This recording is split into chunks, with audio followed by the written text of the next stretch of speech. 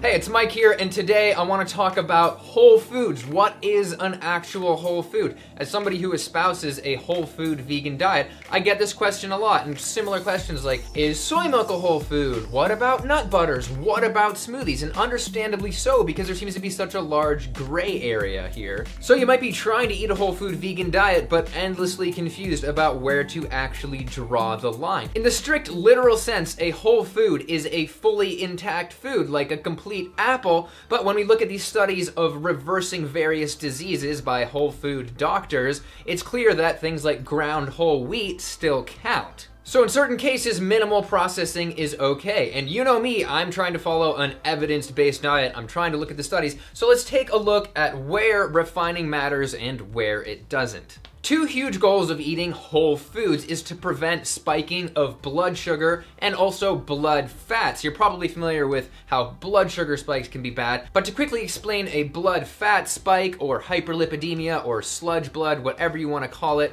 it's bad because it not only lowers the oxygen content of your blood and your blood flow, it causes angina or chest pain in people with heart disease and can compromise artery function among other negative things. So we want to avoid that to prevent heart disease and other circulatory diseases, and there are a lot of those like Alzheimer's and spinal disc degeneration and erectile dysfunction, and the list goes on.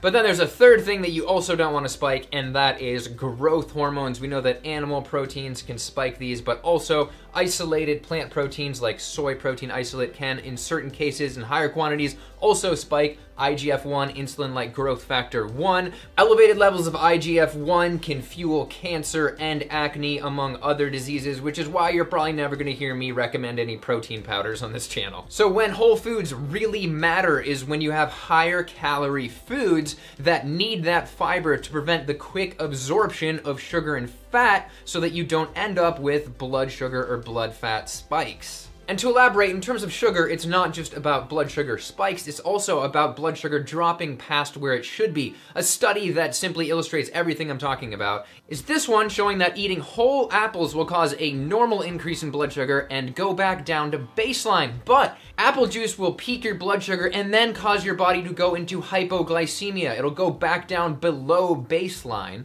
which might make you feel a little lightheaded, and this will tell your body to dump triglycerides into your blood because you think you're starving. Seeing this information made me finally understand why I have never felt worse than after I drank a large quantity of fresh squeezed orange juice. I didn't understand it until I saw that. And as Dr. Esselstyn, who I'm sure you know by now if you watch my channel, he has studies reversing heart disease using a whole food vegan diet. In an interview, he said, quote, definitely no juice. Juice will spike your glucose. You might as well pour the sugar bowl down your throat. But let's be level-headed here. Pressing chard into juice is just simply not gonna be spiking your blood sugar because there's hardly any calories there. You know, it's about the evidence. You can't be afraid of straight kale juice because it's not whole. Same goes for tea. It might not have the fiber in it, but that doesn't mean you need to go and eat the tea bag. So calorie density matters, and looking over to fat in foods, taking a whole olive and eating it is not going to cause that hyperlipidemia, but pressing that into olive oil, even if it's cold pressed extra virgin olive oil, as this study shows, can impair your artery function by 31%.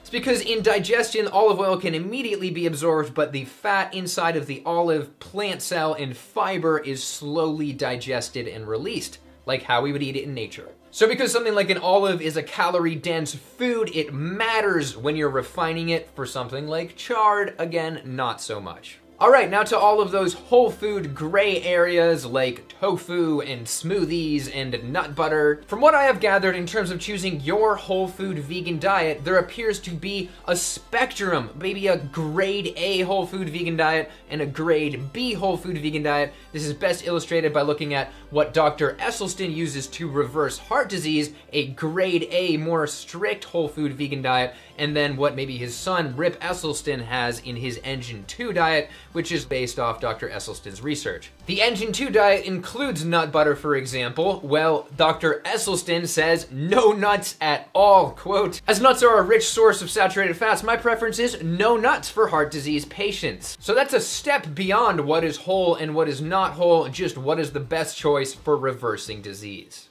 And these doctors often use the terminology of traffic lights. A red light is do not eat, a yellow light is eat sparingly, and a green light is eat as much as you want. Some examples of green light foods would include whole starches and whole grains like whole wheat and whole oats and potatoes and sweet potatoes and quinoa and millet and also beans and vegetables, all the vegetables. Back to nut butters, they are every bit as much of a whole food as ground wheat might be, but since a serving of peanut butter has 3 grams of saturated fat in it, yellow light food for sure. And then red light foods are, of course, meat, dairy, fish, eggs and oil and refined sugars and things like that. But what about smoothies? Where do they lie? Well, here's Esselstyn's view, quote, When fruit is blenderized, great word, the fructose is separated from the fiber and the absorption is very rapid through the stomach. This rapid absorption tends to injure the liver, glycates protein, and injures the endothelial cells, which is the lining of your arteries.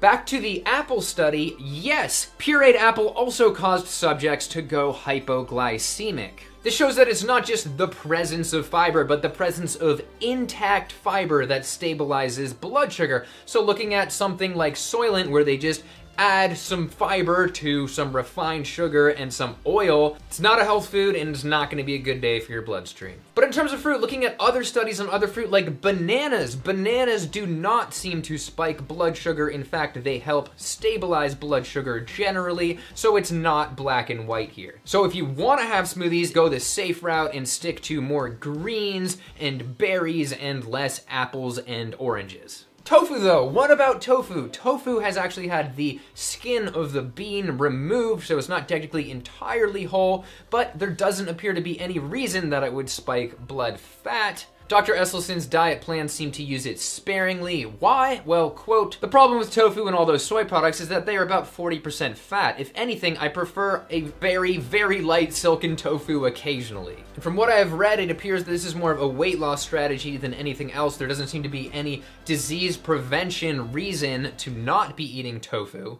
It's not like soybean oil, which could be harmful for your arteries, or soy protein isolate, which can boost IGF-1 in high amounts. What about plant milk though? Plant milk, they are straining out the liquid from the fiber. You are not eating all that fiber, but it is still really low calorie. A glass of almond milk has only about 38 calories in it, for example.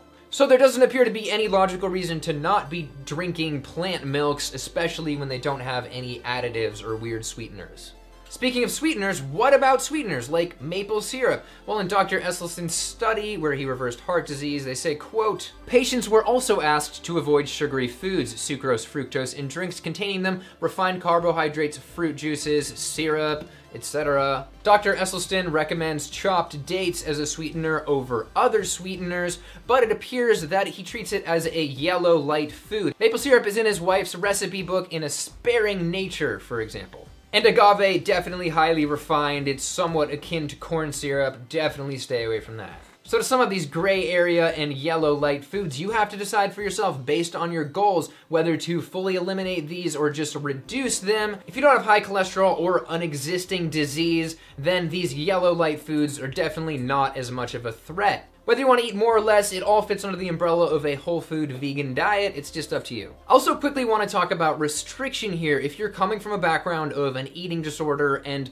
being really worried about what foods to restrict or not, if that affects you negatively, then you need to think about this a little bit more. It seems like a safer bet to just more gradually transition to a whole food vegan diet, making sure that you're properly planning all your meals so you have enough food all the time. And I would also say sometimes it's better to not restrict if you're in a position of restricting or not eating at all. For example, you're in an airport and there's some oil in some food. I would say go ahead and eat instead of not eating. Also, well, yeah, a whole oat groat is better for you than rolled oats. Really, really focusing on this detail where there's sort of diminishing returns could possibly have a negative emotional effect on you without having really any measurable physical improvement. So to summarize, a whole food vegan diet exists on a sort of a spectrum. There's that grade A diet, and then there's also the sort of grade B engine 2 style diet. I would say grade A is really for disease reversal, and grade B might be more for disease disease prevention. Yeah, it might be more clear to call it a whole foods and lightly processed foods diet, but that's kind of a mouthful, and I think you kind of understand now. So I hope I didn't just make this more confusing than it previously was. Let me know if you have any other questions. I'm planning on doing a video about oil-free cookware, a bit of an investigation there as per request.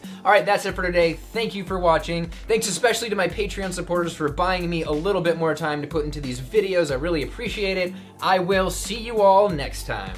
Because if you have an obsessive personality and you start going, I just gotta eat whole foods and only whole foods and all the time and the best foods, and then pretty soon you crack and you're making Kentucky Fried Chicken mukbang videos three times a week.